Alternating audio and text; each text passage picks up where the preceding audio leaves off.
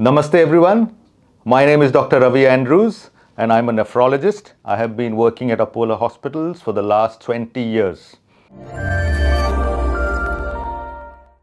Today, uh, we are going to discuss and address some frequently asked questions in chronic kidney disease or CKD. What is chronic kidney disease?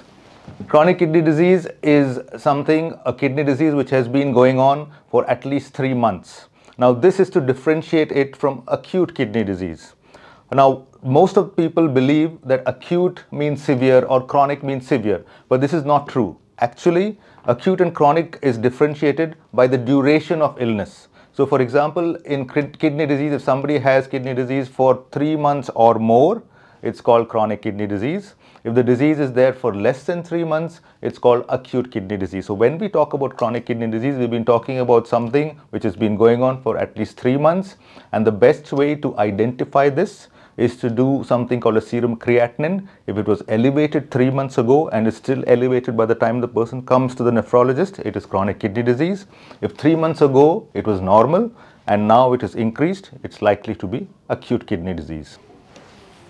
What are the three common causes of CKD? The three common causes of CKD all over the world starting with first diabetes, second hypertension and two indiscriminate use of medications especially antibiotics and painkillers. So diabetes, blood pressure and medications are the three common causes of chronic kidney disease.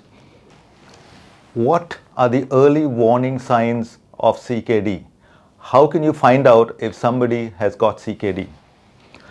We can go systematically from the head to toe to figure out the early warning signs of CKD. So starting with the face area, people with CKD usually have anemia and this can be manifested as a pale conjunctiva or pale lips or pale tongue. They can have swelling of the face. Some people have breathing difficulty so lower down they feel heaviness in the chest. Below that many some people can have loss of appetite. Sometimes they can have vomiting. People have urinary symptoms and most of the time this is decreased urine output but some people can also have an excessive urine output.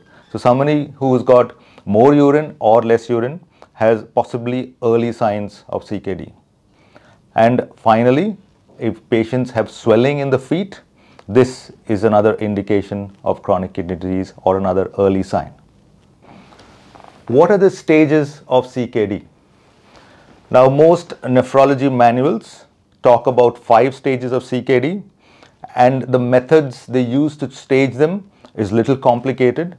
We use something called the GFR or the glomerular filtration rate and this is a calculated value based on other parameters, more specifically the creatinine and this calculation will decide the level will decide what stage of CKD you are in. So it's stage 1, 2, 3, 4, 5. And I'll tell you quickly about the GFR and then tell you an easier method to decide what the stages of CKD are.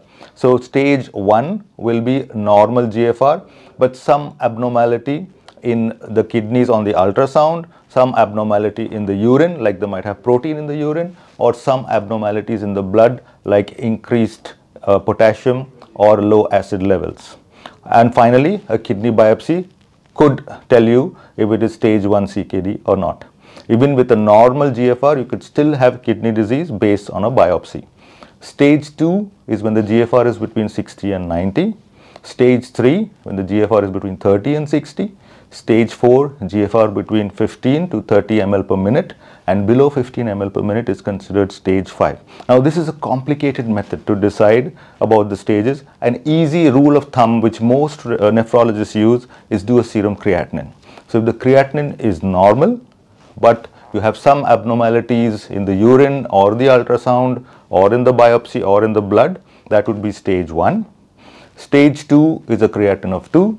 Stage 3 creatinine of 3. Stage 4 creatinine 4 and if it's more than 5 it is likely to be stage 5. So this is an easy method to remember the stages of chronic kidney disease. Stage 1, 2, 3, 4, 5. Stage 1 creatinine 1, stage 2 creatinine 2, stage 3 creatinine 3, stage 4 creatinine 4 and stage 5 more than 5 creatinine. What tests can be useful in the diagnosis of CKD? The basic tests like I alluded to in the beginning of this video is the serum creatinine. But we can do other tests as well. In fact, we should do other tests as well to try and figure out the stage and the diagnosis of CKD. And these tests include a complete urine examination, an ultrasound of the abdomen, specifically the kidneys, a urine protein estimation if it is possible, and a serum electrolytes. So if you want to understand the extent of the chronic kidney disease you have, you will have to do a serum creatinine, serum electrolytes, a complete urine examination, urine protein estimation and an ultrasound of the abdomen specifically of the kidneys. Now this is an important question. What is the best treatment plan for CKD? Ideally, as in any chronic disease, the first thing you need to look at is figure out the underlying cause and treat it. For example, in CKD, if you're specific here, diabetes and blood pressure are the most important causes. So you have to make sure that the blood sugar is under control and your blood pressure is under control with whatever medications are required. In addition to this, for CKD patient, ensure that they don't take any unnecessary medications. Make sure they don't take painkillers and antibiotics because these are the commonest causes of CKD or worsening of CKD. Make sure your lifestyle is well controlled. Avoid too much salt. Take enough fluids and avoid dehydration. Avoid smoking and alcohol. Exercise regularly. Keep your weight under control. Make sure that your diet is well prescribed by a, either a nephrologist or a dietitian and avoid too much red meat. Take enough fruits and vegetables and doing these things and keep a positive attitude. Doing these things will ensure that you can damage limit your CKD problem and maybe even reduce the risks of long-term problems. So diabetes control, blood pressure control, weight control, diet control and lifestyle modifications are the key to treating CKD. Plus there are certain few medications as well which will be prescribed by your nephrologist. Can CKD be completely cured? I really wish it could be, but the reality and the truth is any chronic disease, whether it's kidney disease, lung disease, heart disease, liver disease, can never be completely cured, but we can limit the damage and we can slow down the progression.